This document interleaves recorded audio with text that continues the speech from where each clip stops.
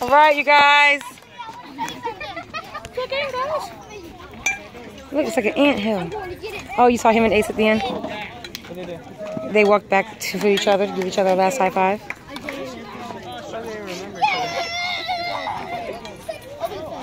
Oh, he's happy, look. Oh,